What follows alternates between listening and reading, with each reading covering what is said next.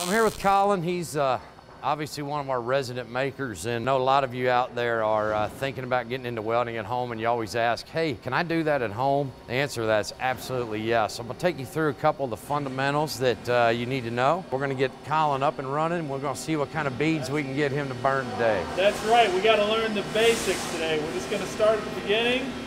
So, Randy, what are we wearing? Rule number one, Collin works with hot metal all day long. He knows what hot metal will do. Now, when Collin's hammering, you wear leather. Yes. It's leather. okay to wear leather. Actually, some welders will wear leather. We're gonna wear a FR rated jacket.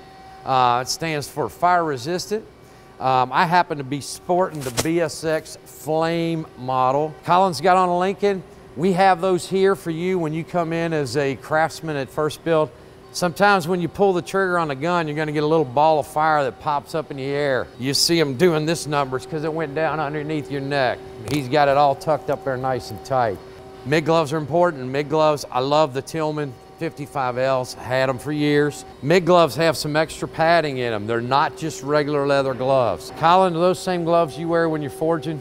Uh, yes, Very sir. similar. Nice big leather gauntlets. Yes, absolutely. So anytime we're around heat, we want leather. We want to protect ourselves. So he's got his gloves on, I got my gloves on. Last but not least, we got to protect our eyeballs. When we're actually MIG welding, we're going to get some strong, strong light coming off of there. We need to filter that light out with a hood. Make sure you spend money, get you a good helmet. Setting wise, how do I know what to set it? This thing goes from 9 to 13. It goes from light to dark. We're gonna set ours on 10. Make sure every time you pick up a helmet that you check that number or you're gonna get a bright flash. Somebody could have turned it down. So I always look at my number to make sure I'm on 10. He's got his on 10. Good to go. We're gonna put that on. We got our fancy uh, MIG gun holder, compliments of Jimbo's Garage. Um, I've got some, uh, some angle iron today. We're gonna start out by doing a simple lap joint. Do you know how to set that up? Well, let's go over here and I'll show him how to set this up. 3 16 material, so we're gonna run 18250, somewhere in the 18250 range, right? Now, what is 18250? That's 18 volts, 250 inches a minute on the wire speed. Okay. Go ahead and set yourself up for 18 volts and 250 inches a minute. And 250 on the wire speed. Before we run our first bead, get yourself a good pair of these too. About $15 on Amazon. This is a pair of MIG pliers. MIG pliers serve three purposes. Somebody here always fails to clean the nozzle out on the gun. Right. And what happens when you have a dirty nozzle, Randy? When you have a dirty nozzle, you can't get gas out. It's hard to pass gas when you got a dirty nozzle. So we're gonna clean that nozzle out. These pliers actually have a set of serrated teeth on it. We're gonna knock all that out. Now, Randy, we use gas with these MIG welders. Now, what does the gas do for us? Great You know, What do question. you need gas to melt steel together for? When we go to join or weld metal together, we're actually gonna turn it into a liquid. We're gonna run gas out of this bottle back here. That is what we call 75-25 argon CO2 mix. We need an environment over top of that weld joint that is free of oxygen. Um, the oxygen causes some issues with that metal when it's in its molten state. They make a style of MIG called flux core. The shielding is in the center of the wire and it's in the form of a cellulose that actually will burn while you're welding. And as that cellulose burns, it creates that environment. Flux core is just like stick welding outside. You'll see people building bridges, they're using stick welder. Flux core same way, except you're gonna feed the wire instead of holding a rod when you're burning. A lot of the, the beginner hobbyists at home will buy a flux core welder. It's very inexpensive. I actually built a five foot by 10 foot trailer that I still own today and I built it completely with flux core. We're gonna, we're gonna do shielded gas MIG today. MIG just stands for metal inert gas. We talked about the inert gas, let's talk about the metal. The metal's gonna come down the end of this gun and you go, well, where's it coming from?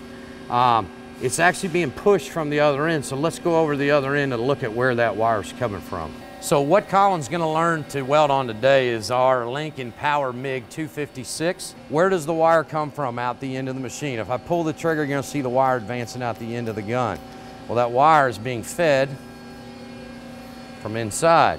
This spool originally when it started was full of this wire and we're down to our very last bit. So we're gonna have to change that out before we get started. What happens is when I pull the trigger, these two drive rolls will actually pull the wire and they're pushing it down the center of this gun and out the end. Now it's electrically conductive, so when I'm welding, I'm actually transferring globlets of, of metal through the arc that we're uh, creating by doing the, uh, by pulling the trigger and creating the weld joint. So that's how a MIG runs. All MIGs are the same way. All of your MIG machines, they'll have a tension bar and two sets of drive rolls. We're gonna just pull this wire all the way out. Now don't lose the end of this wire, it's gonna spring free, so hold on to it tight. We're gonna feed it down the center. You're gonna see it come out over here. Now once you get it fed through, you can see it's traveling in that little small groove in the drive rollers. There's a matching groove in the upper drive roller, so when I close this down, it's gonna trap it in between there and that's what's actually gonna push it. So we'll lock that in. I'm gonna turn my wire speed way up so it goes really fast. It's traveling through the wire right now.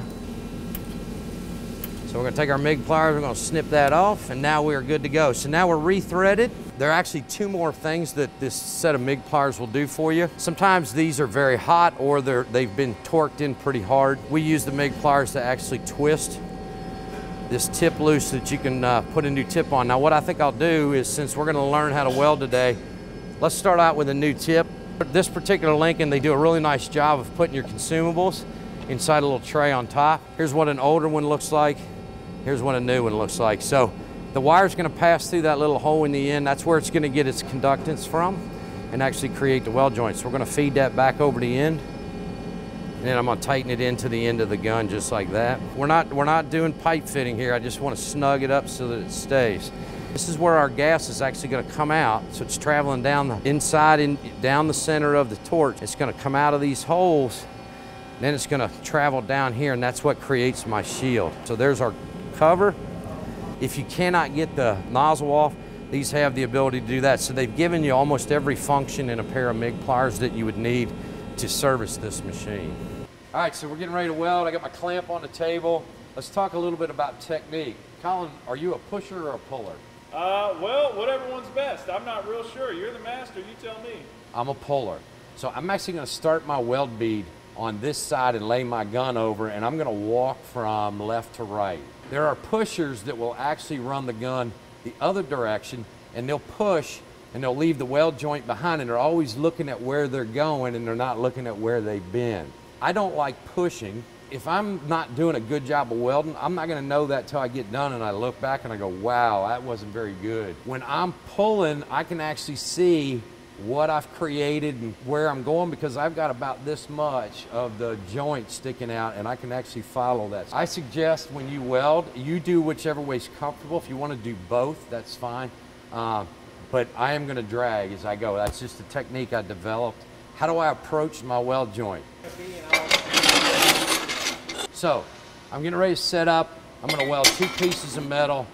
How do I do it? We're going to get up to the table. Now, comfort. I like to come up to the table like I'm approaching a bar and having a drink. So I've oh, got oh, okay. this. I run up to the table. You know, this is not a. We're not going to stand back and shoot this thing like we're shooting a gun. We're going to walk up to the table and get comfortable, laying down on one foot. I'm going to turn the work to a 30 degree angle so that I can work my way across the table. That's my comfortable motion. Why do we have these thick gloves on? I'm going to set my hand down on the table, and I'm going to see how this gun's got a curve in it. Yes so I'm going to lay it, this is how I was taught. I'm going to lay it across my hand. I can now manipulate the back end of this gun and work the tip anywhere I need right. to go. You created your own pivot point. Absolutely, really. right here. Now, as we're welding, all this heat's going to want to come back here and burn the back of my hand. Very important that you got extra protection on the back side. That's why I said earlier, don't wear a normal glove. A leather glove, it helps, but only for like the first 10 seconds, then it's going to get really hot. Right. So. Uh, and you know by handling hot metal, by the time you feel it inside the glove, it's too late. It's too late. One last thing we need to cover before we run our bead. We call this stick out. Mm -hmm. See the wire sticking out? They call it stick out.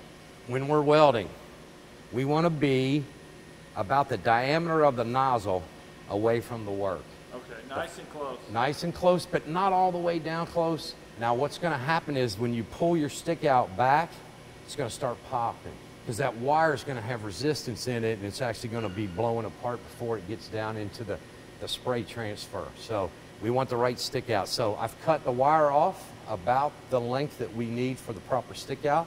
I'm going to approach the weld joint and I'm going to pull the trigger. So ready? Here we go. cool. Here we go. Tack that side. Tack that side.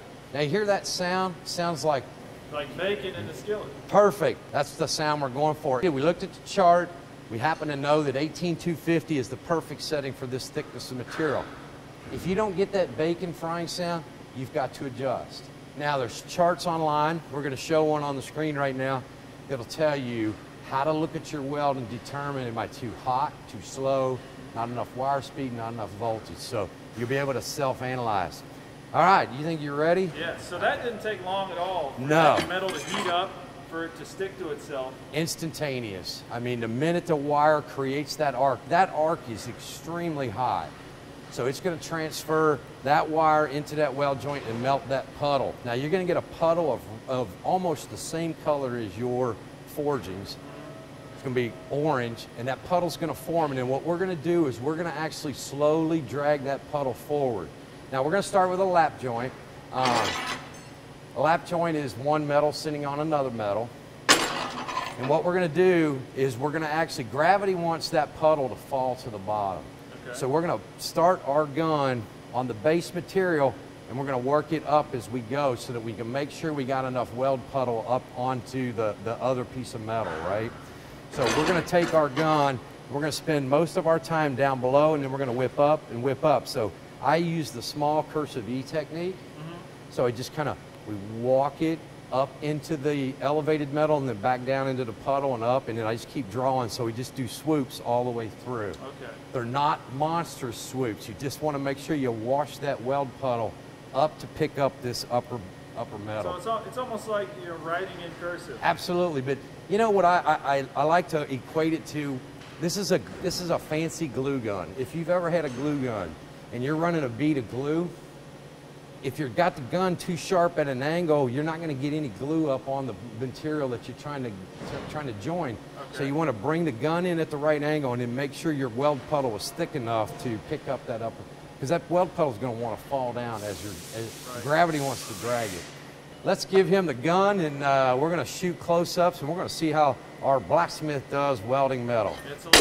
It's a lot, it's a lot of pressure. I'm here with the welding champ, as Yeah, it were, no. with everyone watching. So I will do my best.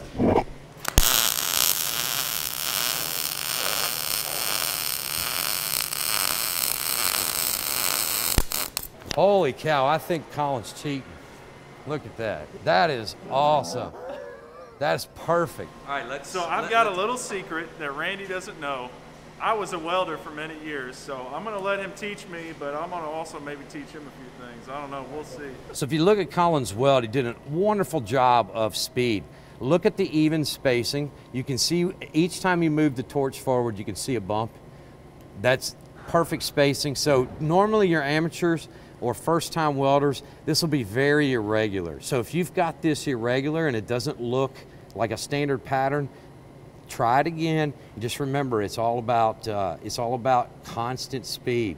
Um, don't get nervous and try to fly through here. If you go too fast, you're not going to get a, a weld bead that looks like that. And you're going to go to your chart and go, oh wow, that tells me I'm going too fast. So really good. He's got a good amount of material above and below with a nice bulge in it. Um, got just a little bit of undercut up top, but for what we're doing today, it's not a big deal. So just really good repetition on the torch here. Uh, you can see where the puddle ended. Um, you can see a little bit of the uh, discoloration from the underlying material coming through. So just an outstanding job in, in, uh, in, in speed and flow on that particular setting. So, all right, so Collin mastered the lap joint. The second most uh, common joint that you're gonna end up doing, we're gonna put him to the test here. He's gonna do a T-joint. We're gonna do a T-joint on an inside corner. So what we're gonna do is we're gonna turn this piece of angle iron up and we're gonna run a weld in a 45 or a 90 degree corner. So um, I'm gonna set this up. What's really nice is we're using the same thickness of metal so that you can pour the heat into the bottom and you can spend a little bit more time going up and down. Now, if you had a thinner material on top and a thicker one on the bottom, you gotta put more heat, just like you do when you're forging. You gotta put more heat into the base metal and less in the top or you're gonna blow all the way through. You got that? Well, let me ask you this. If you're laying a bead into this corner, do you do a continual bead and turn this 90 degree angle? Or do you come in, stop, restart, and go down? I actually go into the corner, stop, I go to the outside corner and bring it to together and let the puddle fuse at the middle. Okay. So, and some people will go through the corner. Really, it's dependent on your technique. Um, I find it hard to get that corner turned. I like to push my puddle into the corner and push that puddle into the corner. We'll see how Collin decides to do it. He's going to do this. like he's going to do this inside corner. and We're going to see how it looks. So let's set up and uh, rock and roll.